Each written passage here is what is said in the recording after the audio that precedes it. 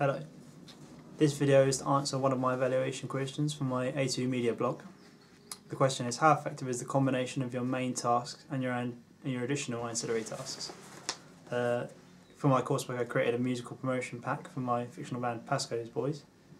Uh, I did three tasks, the main task being a music video which I did with my colleague Robert Bullpit.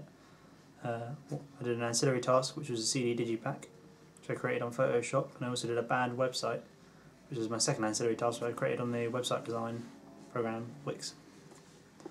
The first combination, the way all my like coursework pieces connect, is I use a similar font throughout all the three pieces. Even with the video at the beginning part, we I use the same font. Um, this is a good way of creating an ideology for the band. The font I used was Old Times Roman, which was quite a boring font, some people said, but I think it just suited all my coursework and it fitted in really well in comparison to other fonts within Word. I didn't, you know, I thought that was a better font to use. Um, I also used it for like anchorage and titling on my website in on my CD digipack. So on the back cover of the digipack, I used it for like the song titles of the album, etc. And obviously the main title within the album cover. Um, this like technique is used across all different bands within the alternative music genre. For example, Bastille and Crystal Fighters use it as a way of creating their own ideology to their bands, and so people when they see that font of the title, people know that it is them. It's a good way of selling their product and promoting it to their fans. So it is quite a good technique to use, I think. It's seen a lot in the music industry. Uh, the second way all my products combined with my media coursework is that I on my website, one of my ancillary tasks that I created, it features all of my pieces of coursework. So, for example, the images that I use for my digipack are on there within the gallery page of the website and on the home page, which is like the main hub, I think, of all information that kind of tells you what the website's about, is uh, the music video, which we put onto YouTube, and then we put it on the home cover, home page. Sorry, I think this is good. This is a good way of promoting the video. Lots of bands use it. If you look on every every band's website, they'll either have like a SoundCloud version of the song, or they'll have the actual music video. They've created it over their most recent hit or song. So I think it's I think it was a good way of combining the product, and it's good for musical promotion, which is the main aim of the coursework. Um, the third effect, or the third combination, was that I interlinked all my pieces of coursework. Sorry, um, is the way that all the band members that feature within Pasco's Boys feature in at least one piece of the coursework, whether it be the main task or the ancillary task.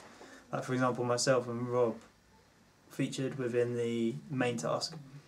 I kind of created like a fictional characters out of my like out of my friendship group, and used pictures of them and put it on the website because they got their permission. Or two of them, two of the band members were myself and Rob. We featured in the music video, as well as my friend James and Luke featuring on the band website and the band bio page. So we got images of them.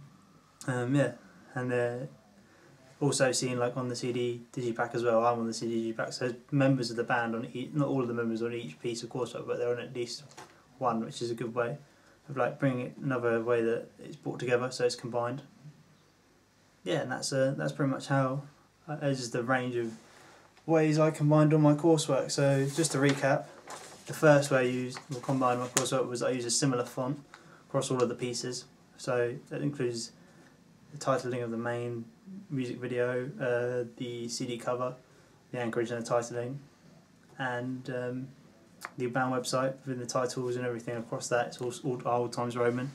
So that's the way I combined all of my coursework together. The second effect was all my finished products being on my band website. So the music video, which is placed on YouTube and now is on the band's website on the homepage, and the images for my CD cover. They also feature across like we have like sidebars on the website, but connecting it to social media, and has images of the front cover. It's all over the website really. I said it was just in the gallery, but the covers for the CD digipack are all across the website. So that's another way that all the pieces combined. And the third way was that there are images of the band members in all pieces of the coursework. So yeah, that's the uh, answer to my question.